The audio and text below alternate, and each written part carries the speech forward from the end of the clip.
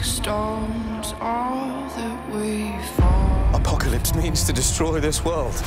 We live in a beautiful world. Let's go to war.